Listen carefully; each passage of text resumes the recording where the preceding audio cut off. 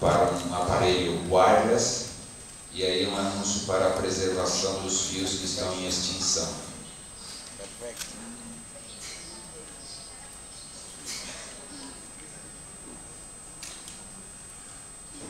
Esse é um anúncio para um fio dental, Bridge. É, é bastante óbvio, quer dizer, mostra o dente, e tal. Visualmente óbvio e bastante também clássico.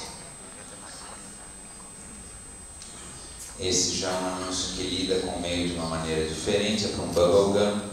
À medida que você abre o, o anúncio, e sai a bola do, do bubble gum.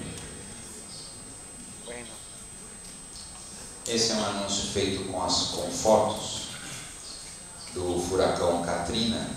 A ideia é que para parar de fumar, para pedir para as pessoas pararem de fumar. Então, isso representa dentro do corpo das pessoas do fumante. E o, o interessante aí é a ideia de usar fotos reais do que aconteceu com a casa das pessoas no furacão Katrina.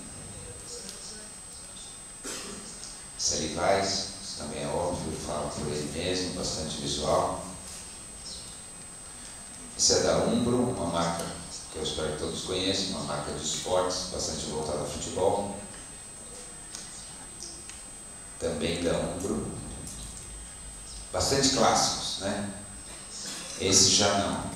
Esse, de novo, é para um fio dental. Parece que no Brasil a gente usa muito fio dental, mas não é, não é tão assim.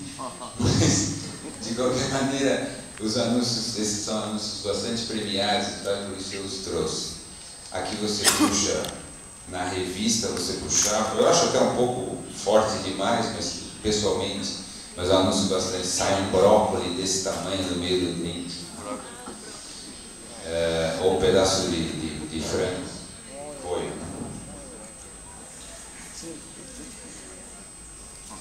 Bom, esses são alguns exemplos algumas maneiras clássicas e não clássicas da gente utilizar a mídia impressa hoje no Brasil.